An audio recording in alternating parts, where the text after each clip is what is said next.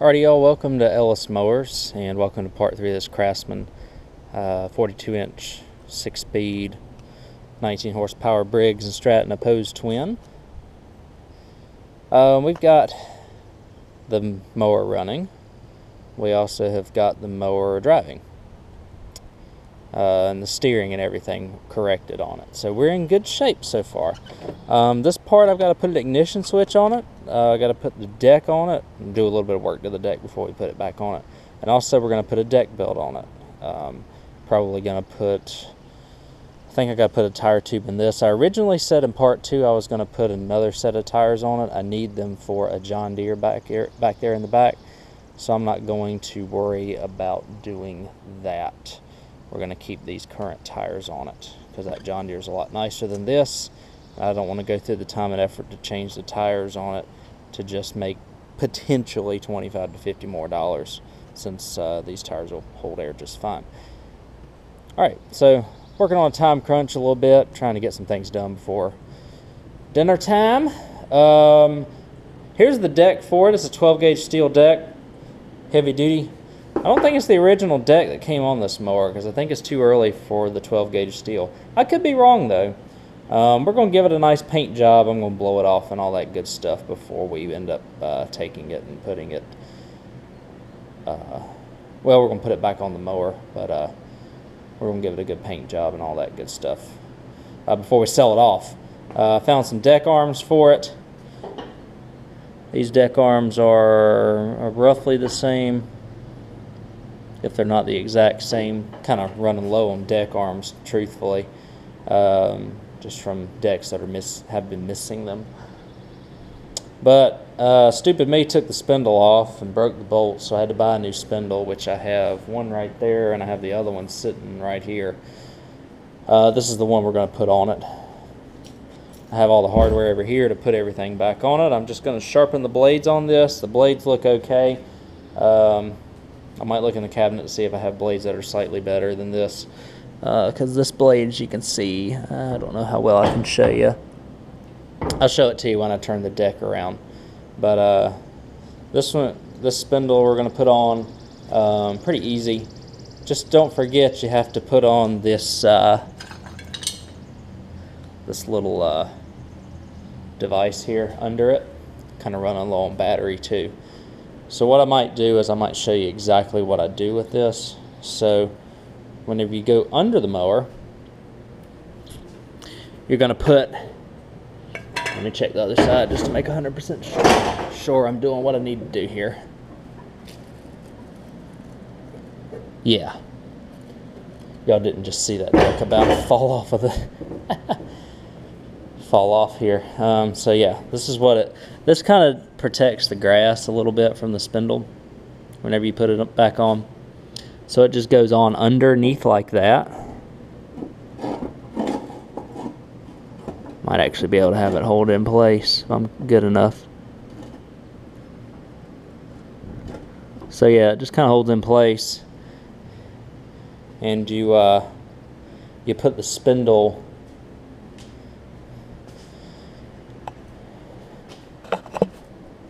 Let me get y'all set up right here. Best as I can. Put the spindle up underneath it.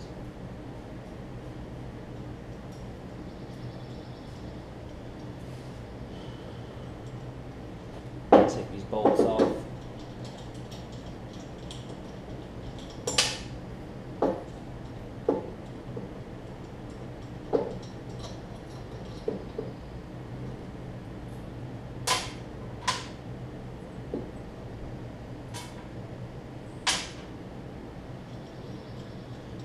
Yeah, we'll get there eventually.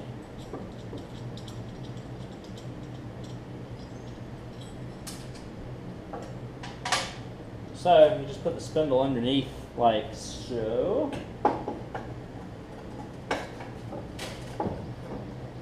Match it up with your holes on the little grass guard for the spindle is what that is.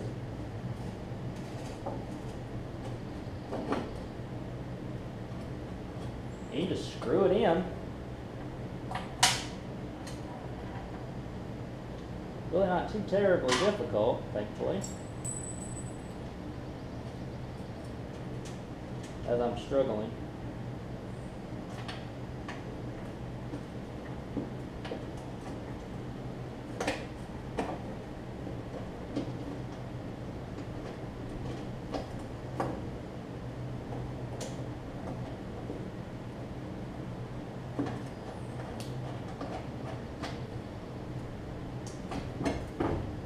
And before I do the others, I just wanted to kind of get that first one in. You're going to put the other two in. What I like to do with these, especially these aftermarket ones, is they don't have very big. I like putting washers around them because you see the lock nuts are really not that that big and the heads aren't really that big. So I'm going to put washers on them. I'll show you the finished product. Again, all you have to do after you put the spindle on is put your uh, your little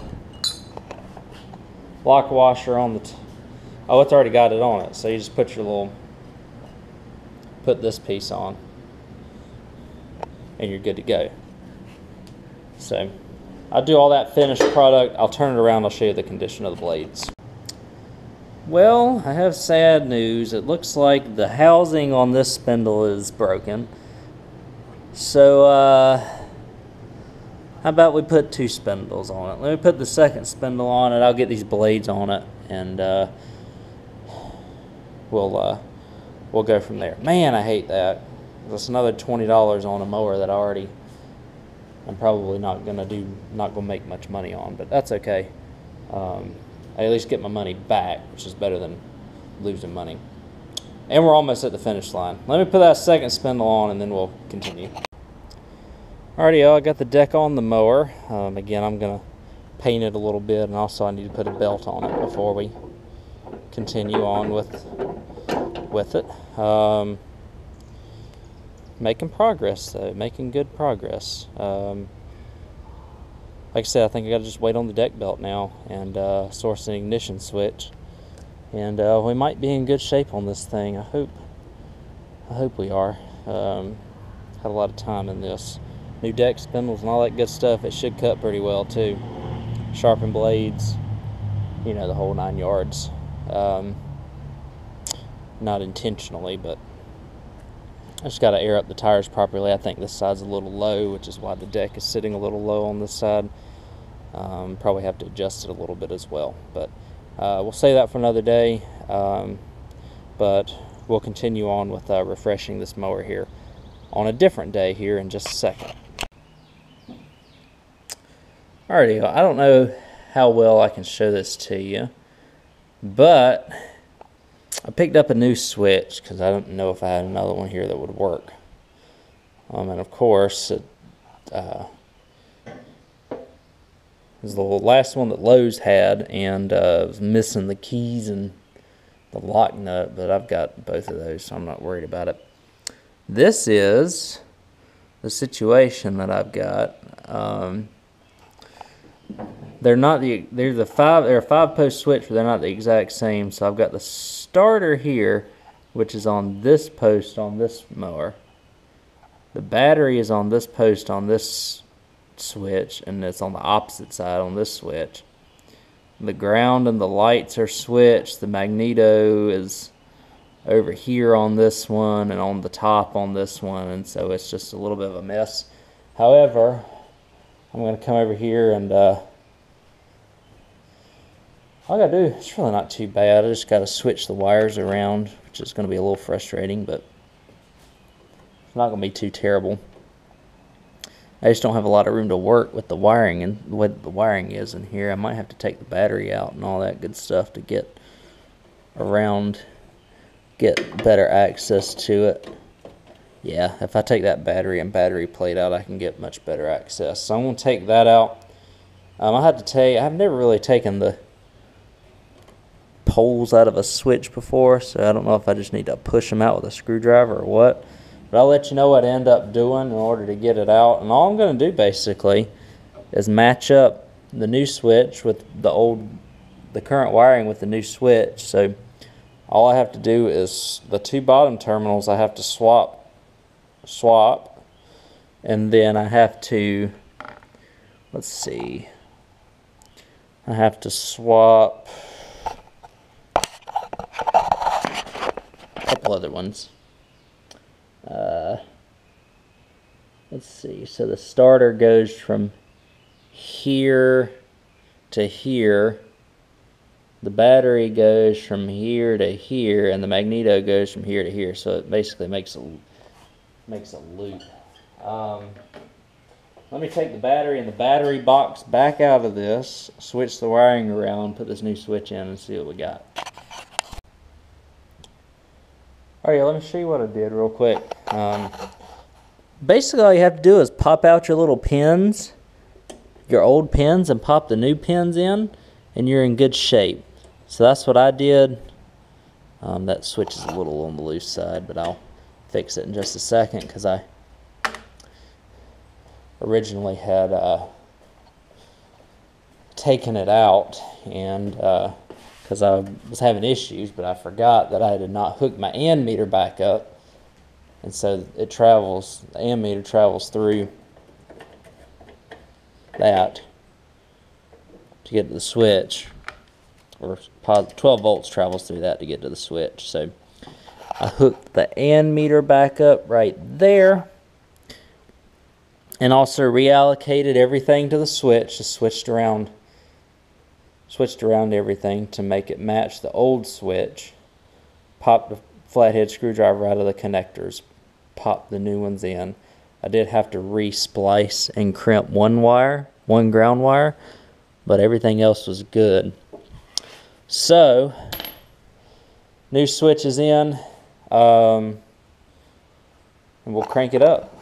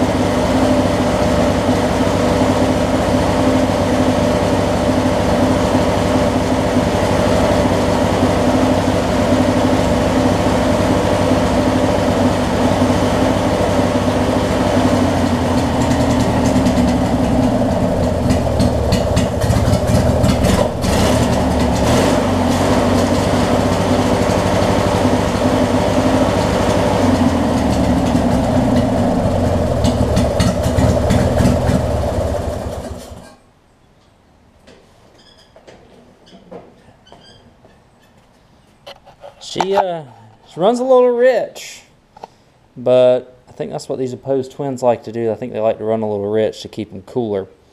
Um, next order of business I have to do, it's probably not going to be very fun because of their, oh no, here we go. We do have a drain on this side. I do need to change the oil lamp. And I'm going to put a deck belt on it. I've done quite a few of these deck belts. So I'll show you what I do to put a deck belt on one of these. It's not terribly difficult. This says the mechanical blade engage on it. So you have to take off that bracket right there. And then also you have to take off that arm in the back. I don't know if you can see that bottom arm that sticks down. You have to take both of those out to get the belt around it. So I'm going to do that. I'm going to put the deck belt on it and give this thing an oil change and uh, level the deck as well. I'm going to inflate all four tires up to the same PSI, level the deck, and uh, I don't really have any grass to cut because I cut grass yesterday with a different one. But I might just take it for a ride around the yard so that I can feel confident about selling it. I've got a bunch of riders in the works right now, as y'all can see. But I'm going to do those things that I described to you.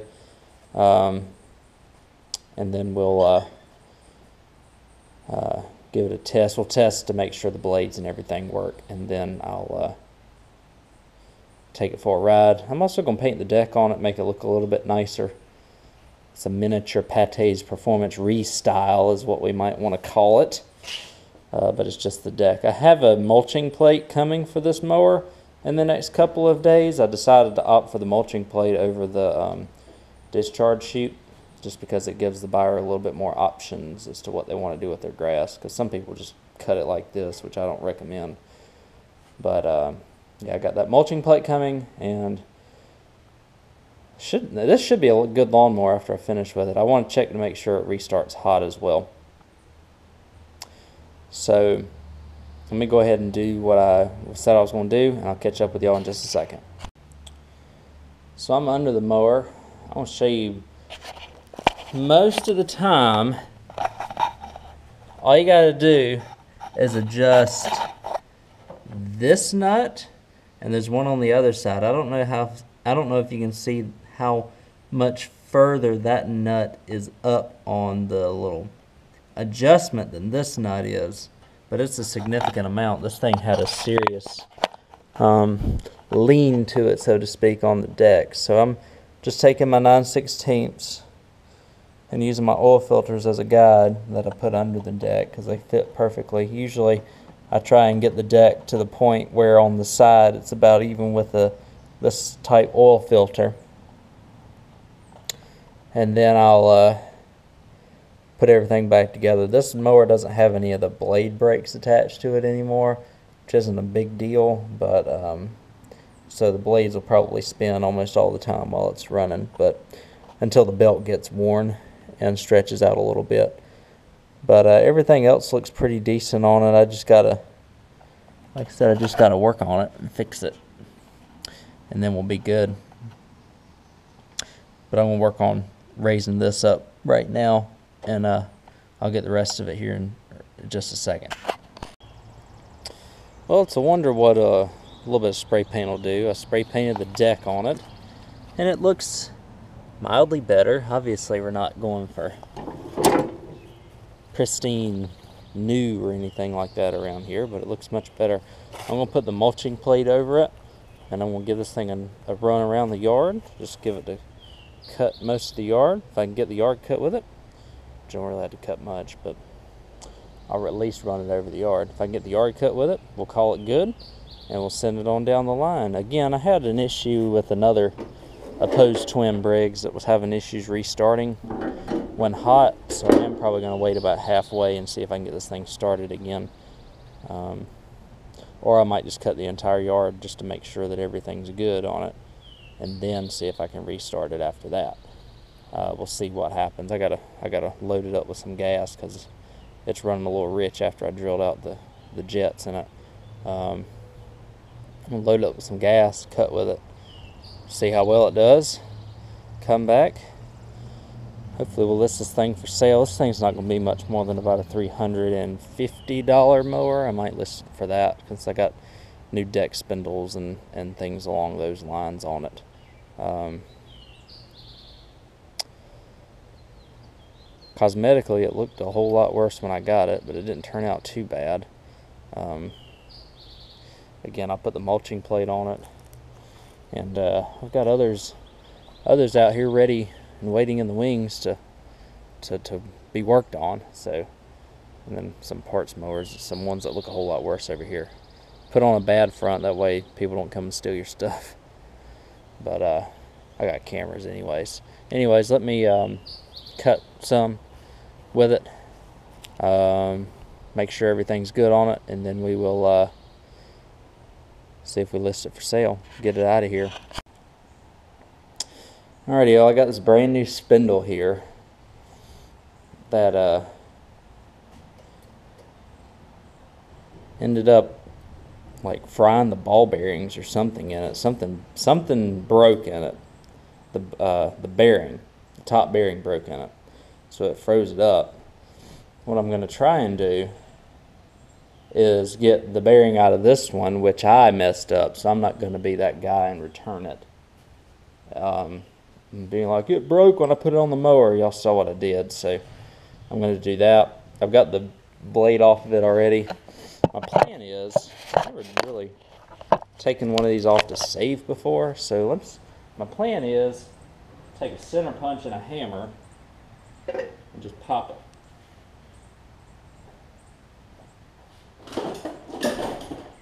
So we'll see if that works. I need to get a bigger hammer.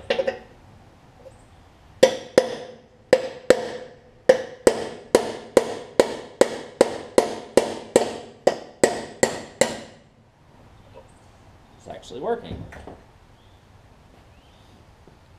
There we go. Okay. So I got the shaft and the lower bearing off.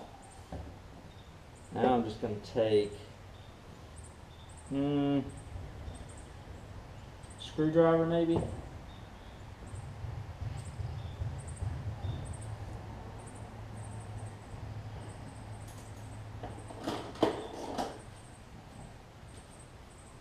And if I had a socket long enough, but I don't. Hmm. Or, where's my jack at? Well, let's see if the jack works. The jack handle.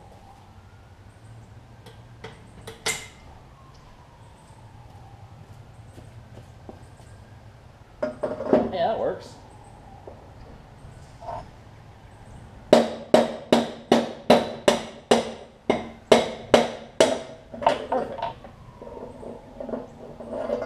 Bearing out.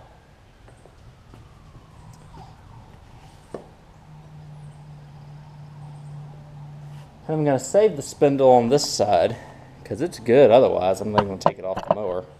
That way I don't mess myself up too bad. But you can see that bearing on this spindle just decided it wanted to go out for whatever reason. Who knows why?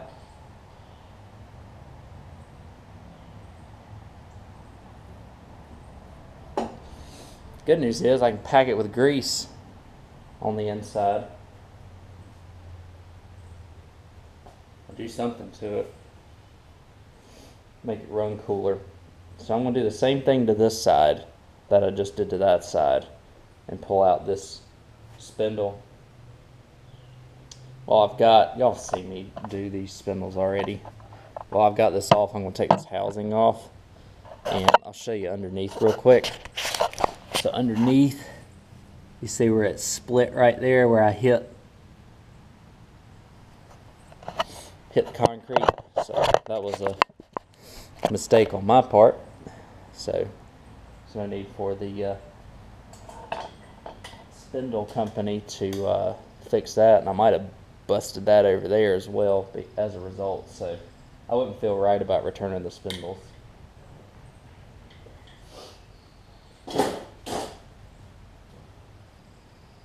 But I'm gonna get these off and I'll rebuild that spindle over here and I'll show you the end result after I put the new spindle on as well.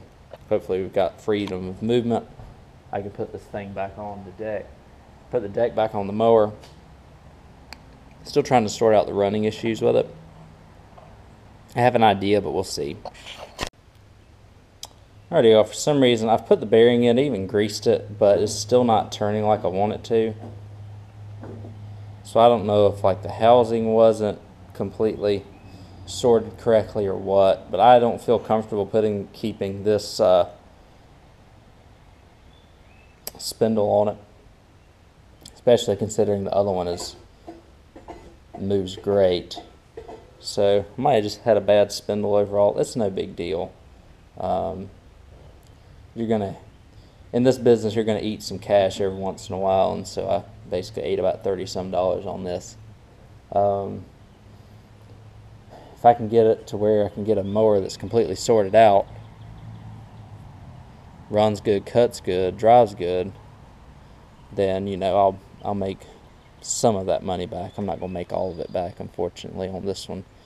Uh, I'll be selling this one at a loss because two sets of deck spindles set you back pretty good. But you know, it'll be worth it to the buyer to have that peace of mind. Um, and I've just got to get the get it fixed to the point to where it's starting and running and cutting reliably. So I'm getting to that point and part of that is replacing this entire spindle assembly, which is unfortunate. but uh, something that I'm going to do here. So let me go ahead and do this side as well. I've already done that side, so we're we're good on that side. And um, I'll put this thing back on the mower. Um, I gotta I gotta sort out the running issues and whatnot after this. So uh, once I sort all that out, we'll uh, we'll see what happens, and uh, hopefully we can get this thing to where I can test cut with it and uh, have a good lawnmower here. All right, everybody. Um, I looked at the videos because um, I filmed these over the course of a few days, and uh, looks like the last thing I showed you was redoing the deck spindles, which I got those on, got the deck back on, put the belt on, everything is good. Um, I filmed a bunch about me trying to fix this opposed twin. Um, instead of boring y'all with another perpetual process, what I'm going to do, because it was similar in nature, I'm going to link in the description another opposed twin that I did that had very similar issues to this one with hard starting when hot and things like that. So I'm going to um, link that in the description for you. Sorry, the bugs are killing me out here. But what I ended up doing ultimately is I had to drill out the carb jets a little bit to 8 thousandths for the low side and 12 thousandths for the main jet on this one. Uh, 46 cubic inch, I did 13 thousandths because it needs a little bit more fuel. Um, and also I had to put an OEM coil back on it because the new coil that I bought actually failed and it was actually cause, causing the thing to run backwards for whatever reason. But as you can see, seat cover and all that good stuff. Um, I'm not going to make any money on this lawnmower. I'm going to be losing some. So I'm just listing this thing for, I think I'm going to list it for 300 If I get 250 for it, so be it, you know. I'll be happy with it. Um, but let me crank it up for you. I just cranked it up, brought it out. This thing's starting great now, actually. Um, cut the front yard with it actually blew a fuse. I think I had a an issue with it uh, contacting the positive terminal of the battery, so I put a battery strap on it to help it move or to help it in that nature. But let me crank it up for you.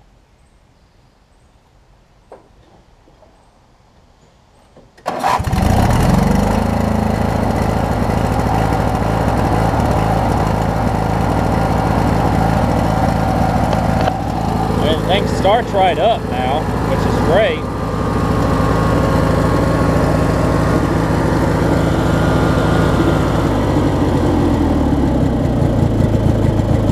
And it'll idle down pretty good too.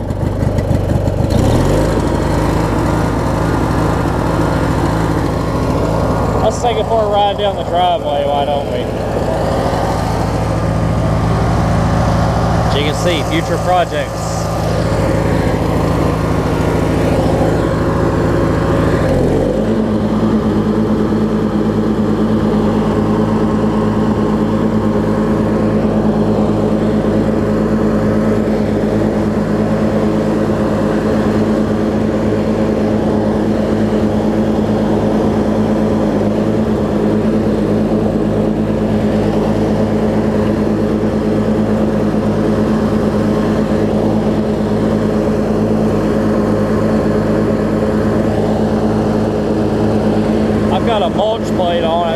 does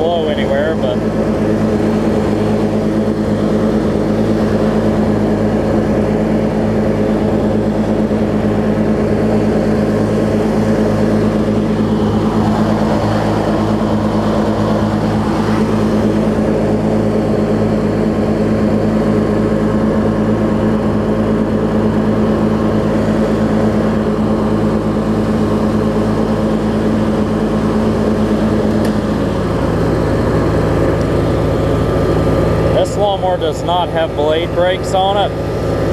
Never came, it didn't come with them when I got the mower, so.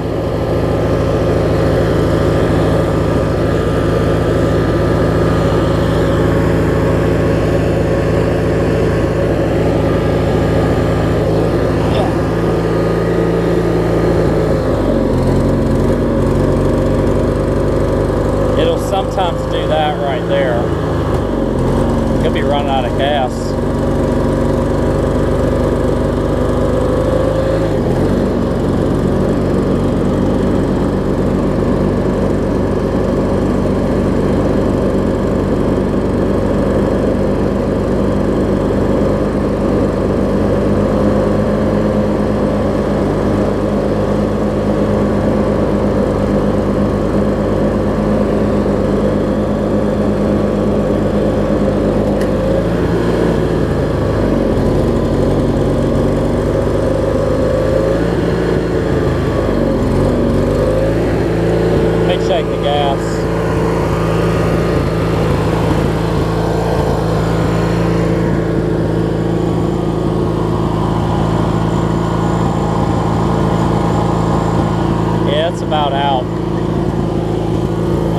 Gas cap.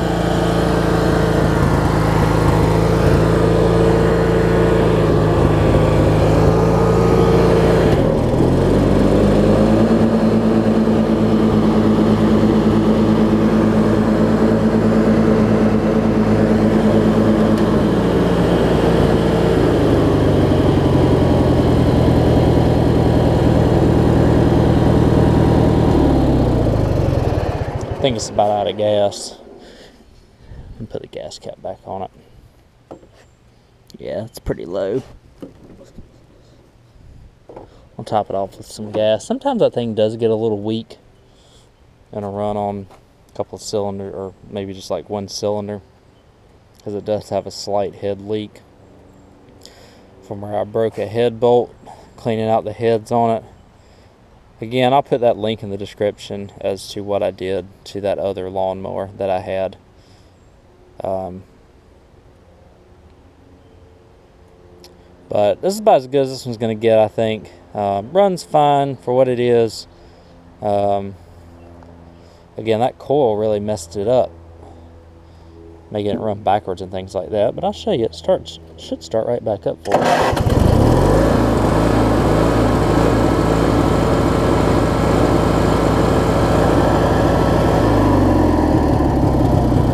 Couldn't get it to do that at all earlier. So I'll go ahead and sell this thing. Like I said, I won't get more, more than $300 for it. Um, I put it on there for 300 If somebody gives me 250 they got a heck of a lawnmower for $250. So again, front tires are bald. Uh, got new spindles and a bunch of other cool things on it. The deck alone is it's not worth 250 but it's worth decent amount. With the new spindles and stuff on it. Done a bunch of other stuff to it but just wanted to go ahead and wrap this video up this three part series. This hasn't been called the money i'm gonna call this the money pit basket case craftsman that i just have not been able to sort out very well. Put I had put a new starter in it because I had to rob the starter off of another one but looks like it's starting and running reliably now. And hopefully it will be relatively reliable for the new owner. Um, I'll put it in the listing the, some of the issues it's got with it but uh, we'll see we'll see how fast it sells and uh, hopefully it'll sell pretty well and hopefully the owner new owner will get some decent life out of it. So thank you all for watching. Uh, I appreciate every view that I get and uh, you can catch me over at Ellis Mowers 09 on Instagram and Facebook. And also right here on YouTube. Uploads Wednesdays and Sundays with some bonus uploads during the week. And I'll catch you all in the next video.